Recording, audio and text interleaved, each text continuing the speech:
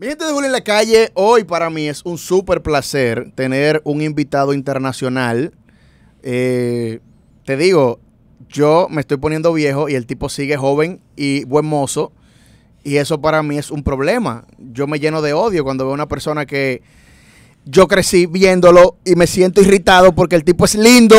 Me imagino que tú has escuchado mucho eso de que crecieron viéndote. Y nada, es para mí un súper placer, señoras y señores, tener aquí al actor internacional, el señor Harry Kenner. ¡Bravo! Señor. Gracias, gracias, gracias, Julio. Gracias, gracias. Qué presentación.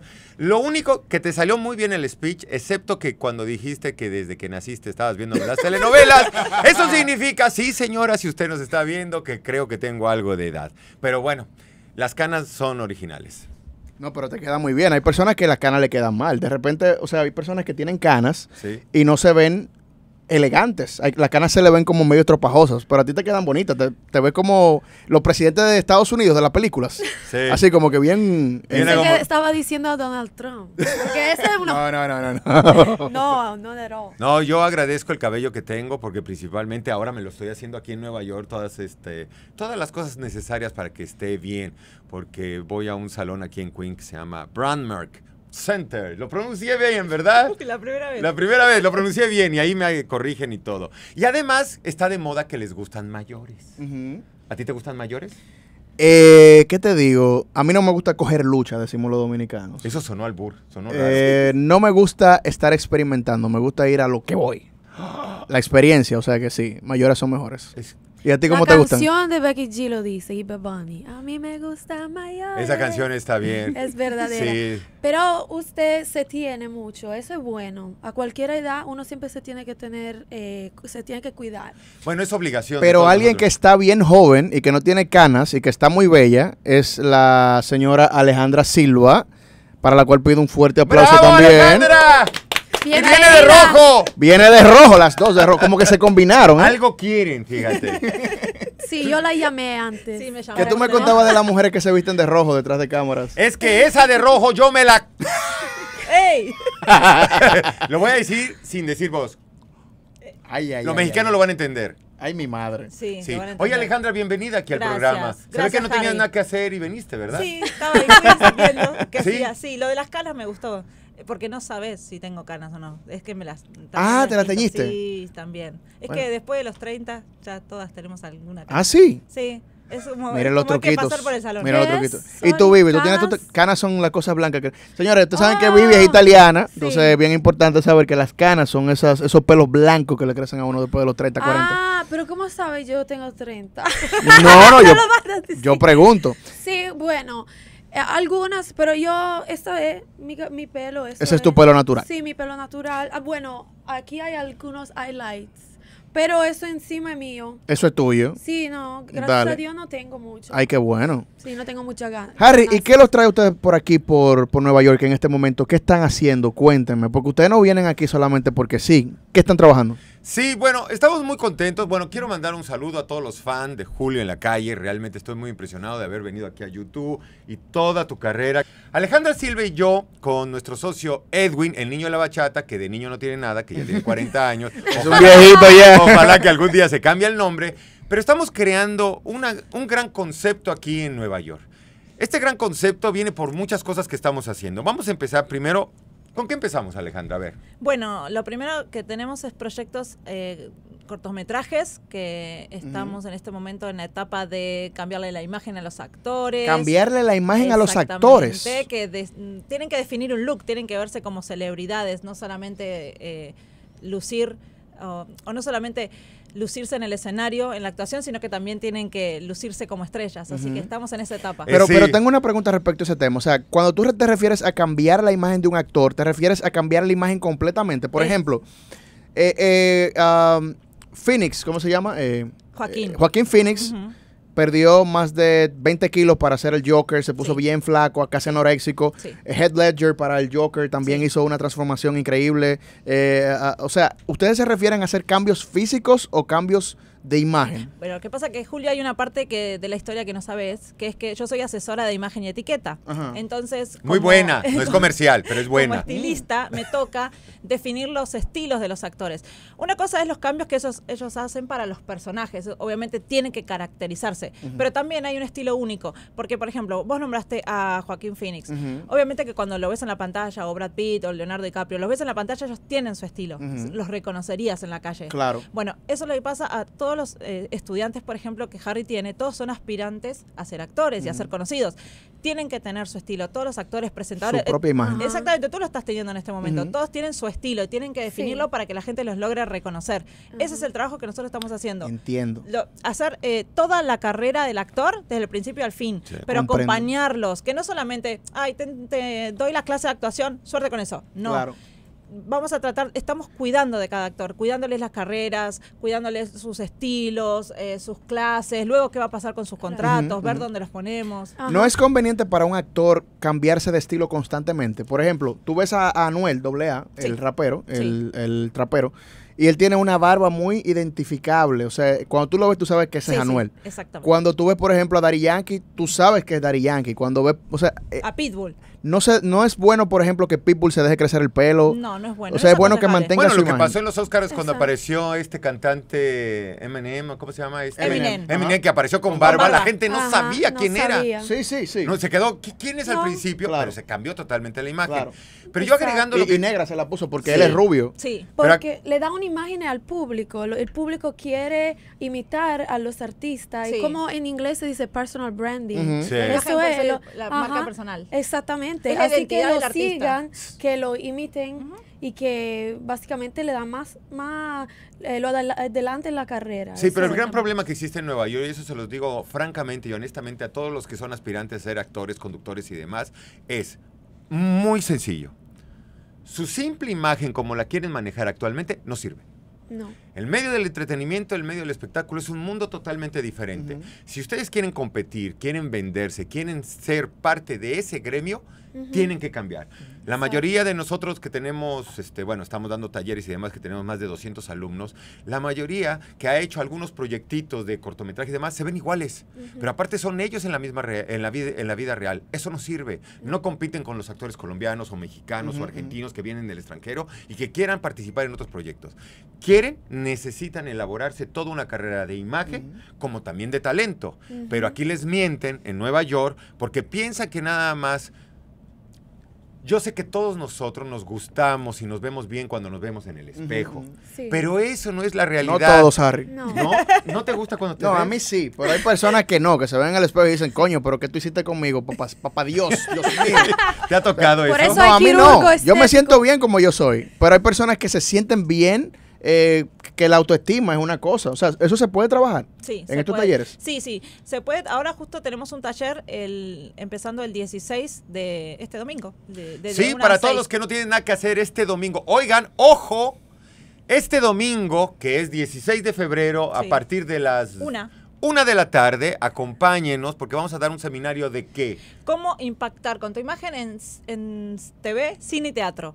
Eh, el tema de este seminario es lo que estabas nombrando recién hace un momento, es crear esa identidad, esa marca personal que te hace único como artista Qué bueno. y que te va a lograr vender. Es una, es una herramienta hoy competitiva en el mercado necesaria. Es, La imagen es completamente necesaria y necesitan estar preparados. Eh, Es como cuando nosotros decimos hay que hacer el papeleo y estar listos para el día que llegue el papel. Claro. Bueno, los seminarios de Harry van acompañados de otras series de, de herramientas y esto de cambiar la imagen es una súper herramienta que tienen que tener en cuenta. El hecho de definir la identidad personal para poder luego venderse en el mercado competitivo. Y muchos no tienen esa información, así que acompáñenos si quieren, porque no nada más en el cine, la televisión el radio funciona eso. Muchos son amantes de las redes sociales Sí. y muchos tienen el problema, ¿por qué yo no funciono tanto en las redes sociales como otros sí funcionan? ¿Qué tienen los otros que a mí me falta? Y desconocen de información.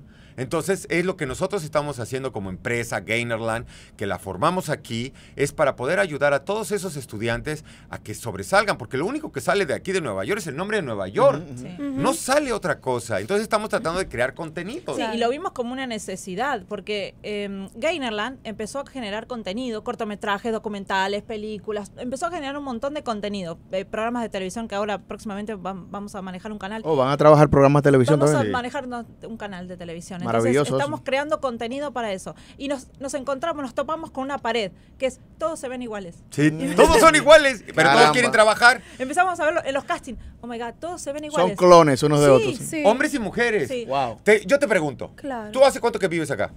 Siete años. Ok, ¿cómo viste la dominicana? La típica dominicana.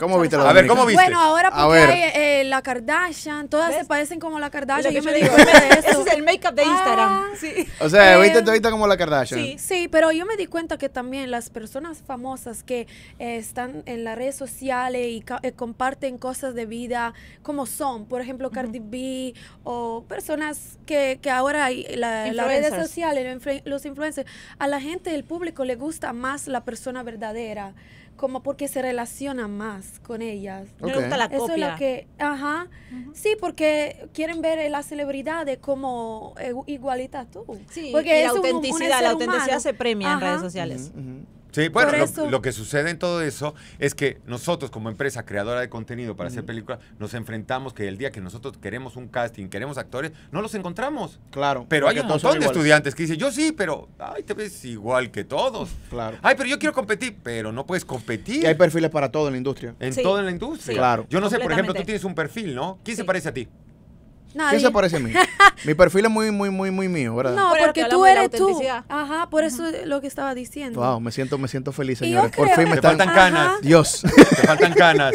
Yo creo que también es la inseguridad de una persona porque no tiene su propio su propia forma de ser, no la descubrí, Claro, no todavía. No, está descubierto todavía como talento. Exacto. ¿Cómo las personas se pueden acercar a ustedes para ser parte de estos talentos? Mira, a mí me parece muy interesante Yeah. eh, esto de, de- de estos talleres que ustedes proveen, porque hay muchos actores que quieren ser como que ese punto diferenciador ahora mismo en la industria que, que está tan saturada. Sí. Claro. Entonces, ¿cómo se acercan a ustedes para tratar de moldear esa imagen y ser como iconizados de una forma única y diferente? Bueno, Por yo redes puedo. sociales, como Sí, todo hoy en como día. en redes sociales. Pero yo quiero agregar solo una línea antes de decirte eso. Primero, hacerle una atenta invitación a todo el mundo. Tengan cuidado donde vayan. Eh, en esta industria en Nueva York principalmente hay mucho charlatán e inventan demasiadas tonterías y quieren... Muchacho, tú no sabes nada. Exacto, quieren presentarles proyectos e ideas y cosas que los van a llevar a los éxitos y a la fama cuando es totalmente mentiro- mentiroso. Son Ajá. mentirosos. Hay Especialmente- muchos engañadores aquí en Nueva York. Muchos, muchos, Sí. muchos. Especialmente hombres abusadores. Exacto, Las entonces... mujeres cuidada, por Sí. favor. Nosotros como empresa, lo que hemos creado con Edwin, Alejandra, Harry Gainer, Gainer Lanés, nosotros somos creadores de contenido y creadores de talento. ¿Qué significa? Nosotros lanzamos un cortometraje que se fue a 35 festivales a nivel 35. internacional y no son mentiras. Están registradas y todo. ¿Por qué nosotros queremos llevar? Porque está mi nombre, está el nombre de una empresa y sobre todo, lo más importante, llevar el nombre de los actores y artistas que salgan de Nueva York. ¿Cómo, cómo pueden buscarte por internet o en las redes sociales? Bueno, pueden buscarnos primero, eh, como en todas las redes sociales, en mi Instagram, Twitter o Facebook por Harry Gainer, porque solo hay un Harry Gainer. Y te pueden encontrar y pueden ah, también ser parte de la, del proyecto que tienes. Ajá. Exacto. A través de Todo- tu Instagram. todo- toda persona que tiene interés, que esté cansada, que vea que en su carrera y en su vida no ha pasado nada y siguen pasando los meses y los años y no está pasando nada y está buscando una luz y un camino, acérquense a nosotros, que lo que nosotros lo único que queremos es colaborarles a ustedes. En primera, para mí es muy importante. ¿Por qué? Porque yo estoy, me lancé como escritor, como director, como productor. Y lo que me interesa a mí en mi carrera de más de 20 años, que sigo trabajando para las empresas más importantes de televisión en el mundo, es que mi nombre siga y que por lo menos sea creador de contenido. Y en Nueva York lo que sobran, ¿saben qué es? Creadores de contenido. Historias. Muchos. Demasiado. Sí. Entonces, acérquense con nosotros. Hay muchas redes sociales. Pueden acercarse si usted quiere hacer su cambio de imagen en tu red social. ¿Cuál, cuál es? La de Estoy eh, Bradmer Center. fácil de... Súper fácil. No, como Alejandra Silva en Facebook, es más fácil ubicarme. Eso, con Alejandra Silva. Nosotros lo único que queremos y estamos solicitando desesperadamente es gente que quiera trabajar y que quisiera ser creador de contenido. Entonces, estamos muy felices de haber ¿Qué, puesto pro- eso. qué proyectos ahora mismo? ah, me dices que eh, van a administrar un canal de televisión, tienen a Gainerland dando estos maravillosos talleres. Sí. ¿Qué más hay en agenda y qué proyectos vienen ahora en 2020? Vienen tres cortometrajes, dos en español y uno en inglés. Vienen dos películas. Bueno, más bien viene una película y un documental de la vida de José Pérez, que es de un tipo de Ecuador muy espectacular que estamos realizando. Vienen dos obras de teatro muy importantes. Una que es mexicana, del Día de Muertos, que se llama Don Juan Tenorio, que la estamos armando. En comedia. En comedia. Y también viene otra obra de teatro que es este.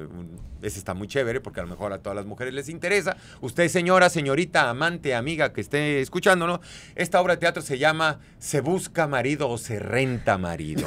Si usted tiene problemas con su marido, puede rentarlo. Y en esta obra de teatro le diremos cómo. sí. Está bueno, ¿no? Es una comedia muy buena. Yo la monté en Miami, en calle 8. Es de, escrita por un venezolano. Y la vamos a montar aquí en Nueva York. Ya se están haciendo los ensayos. Y estamos elaborando eso. Entonces, este, realmente estamos muy completos. Más aparte, estamos haciendo los talleres de cambio de imagen. Es que es- si no hay cambio de ¿eh? imagen, si no hay actores nuevos que puedan reflejar lo que queremos, es muy difícil vender. Y supongo que de estos mismos talleres que ustedes eh, imparten, también eh, ustedes seleccionan los actores de ahí. Sí, Todo. de los talleres de actuación, por ejemplo, ahora lo dividieron en, en básicos, nivel 2, y avanzados. Entonces, de los avanzados están surgiendo los actores de las obras de teatro. Y en los básicos vamos avanzando, porque ahí vamos el, cam- el camino, vamos. Y lo interesante es que estas obras de teatro pueden obtener premiaciones internacionales, o sea que eso es un galardón y un respaldo para el mismo actor como backup en, en su carrera actoral. Además también, Sí. ¿quién lo dirigió?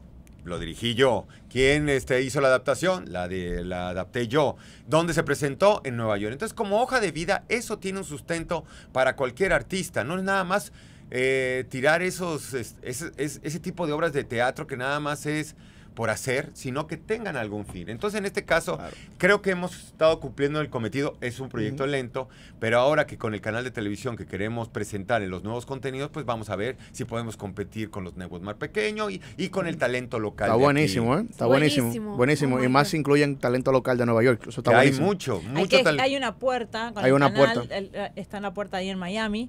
No sé si vos Oh, también en. Miami. pero- oye, es ramificado que están esta gente. No, porque este señor acá anda trabajando estos días. Háblame de lo de Miami, mano. Sí, lo que... Señoras y señores, ahora viene la parte de la celebridad. Soy el actor. Ujú. ¿En qué estoy trabajando actualmente? La mayoría me pregunta. Bueno, estoy trabajando para la cadena Telemundo, en donde estamos haciendo una serie que se llama 100 días para enamorarnos. Exactamente, una adapta- adaptación de la 100 días para enamorarse Argentina. Argentina, Oh, que fue todo un éxito. Estados Unidos, sí. Y estoy haciendo un personaje que nadie, que nadie conoce aquí en Nueva York. Son de esos personajes que ni existen en Nueva York, que son de esos hombres que son millonarios, que tienen un gran auto y que no tienen un solo peso. ¡Ay! Y se la viven yo, mintiendo a las chicas. yo conozco muchos así, No puede ser. Acá en New York. pero muchos. No puede ser. Muchísimo. No, mira, yo soy todo, yo tengo todo, yo soy todo. Y no café. No. Eh, Me, me- me Mire, siento eh, mal y- a decirlo, pero muchos dominicanos. Pero muchos dominicanos. muchos. Cuacuara, Muchos. Pero no solamente dominicanos, de muchos países De muchos también. países. Latinoamericanos, lamentablemente, te venden sueños, te venden cuentos. Eso su- sucede mucho. Harry, eh, ¿algo más que quieras agregar, hermano? ¿Qué se nos ha quedado aquí? Bueno, yo quiero agregar nada más. Bueno, muchas gracias por la invitación, por su gran programa. Estoy muy contento. Creo que Alejandra y yo estamos emocionados desde ayer de haber venido aquí con ustedes, aquí en YouTube y en tu programa. Ojalá voy a ver qué tan fuerte eres, a ver, dependiendo de los followers que me pases. Entonces, eso dependerá de ti, porque si solo me llegan tres Pero o cuatro. revolucionó la casa, ¿Eh? porque revolucionó la casa, porque estaba mi hijo, mi hijo Sí, vente Santi. Santi, Santi, tenemos un niño. Ven acá. que es youtuber. Que es youtuber. Entonces cuando le dijimos, que, cuando dijimos estábamos con él, dijo, no, yo quiero ir, yo Ven quiero acá. ir. Y Dale, tuvimos que faltar a la escuela para eso. Así que imagínate. ¿Cómo estás, Santi? ¿Eres amante del YouTube? Sí, Ah. sí. ¿Cuántos años tienes? Nueve. Nueve. Pero yo quiero hacerle una pregunta Oye, a los tiene dos. 99 seguidores. ¡Ay! ¡Wow! ¿Más que yo? Es un logro. Y No, pero ahorita, ahorita tú lo ves a él jugando Fortnite o jugando Free Fire y ya Sí. tiene un millón de seguidores. Free Fire. Yo Míralo. sé. Mira, él, él te puede hacer millonario, ¿tú sabías? ¿Cómo? Un niño de 14 años que se llama Buga se ganó 3 millones de dólares jugando Free Fire. ¿qué no? Wow. ¿Tú lo conoces, Buga? ¿Qué? Tenemos que, Bueno, se llama tenemos Buga o que algo empezar así. a trabajar en eso entonces. ¿Crees que debería de retirarme y explotarlo a él? Claro que sí. Sí. es una buena opción. Sería una buena opción, Sí, ¿no? sí. No lo pensamos antes. Oye, si tú fuera, si este fuera tu programa de YouTube, ¿qué le dirías a tu gente? A ver, empieza el programa. Vamos. Y yo, nosotros Y en somos tus español, y en invitados. español. Y en español, porque es bilingüe. A ver, en español. Empieza. A ver. Mira, ve, ve la habilidad de este hombre. Vamos a ver, vamos a Pero ver. en español no Vamos, sé. di. Hola a todos mis amigos. Estamos aquí en YouTube. Va. Hola mis amigos, estamos en YouTube con este Harry Geithner que me hizo decir todo. Pero en, Wow. en español se le complica a veces. Dale. No, no, no. un Qué bueno. Eso, me encanta. No, Ahorita No, sale actor como el papá. Va a ser muy grande actor, muy famoso. Ya, Eso. ya lo veo. Que nos No, espera ahí. y otra de las cosas, bueno, es agradecerles el programa. Alejandra y yo estamos muy emocionados, gracias. Y sobre todo, eh, creo que programas así como los que tienen ustedes, sería muy halagador que siguieran y poderlos tener de invitados en nuestros programas que estamos elaborando. Claro que sí. Tu cara, que es muy particular, me encantaría tenerla en una Pero que película. tiene mi cara. Sí. Pues tienes una cara particular. Me gustaría tenerla en una de tus Porque peli- es en mis muy, películas. muy expresiva, mucha personalidad. Estamos invitándote a actuar, ¿eh? Te estamos invitando a actuar. Ya yo he actuado, ¿eh? ¿En serio? De eso hablamos detrás de cámara. Sí, ¿En sí, serio? Ya yo he bueno, hecho yo estoy elaborando en eso, entonces. en una de esas películas. En una de esas películas, Película. pero no para niños. No para Ay. niños. Tampoco para adultos. Adultos. para que no me vayan a malentender. ¿Qué estás tratando de decir? Oye, es un niño. Por eso te digo. No puedo. Bueno, pero muchas gracias, ¿verdad? Ale, ¿estuvo Antes que nos vayamos, yo quería hacerle una pregunta a los dos. ¿Cómo ahora trabajan juntos? ¿Se conocieron en el trabajo? Sí. ¿Cómo y cuándo? No, tuvimos un gran evento, un gran, gran evento. Realmente yo conocí a Alejandra de esa manera, un evento el para evento. apoyar a los niños autistas. Oh. Ella, organizadora, ella que estaba haciendo un fashion show, yo fui embajador, tuvimos la oportunidad de conversar, ella me miró, ¿Tú la miraste? yo la miré, yo no quise, ella me obligó, se vistió de rojo. Ay, Dios Ay, mío. tú Luiste, el rojo.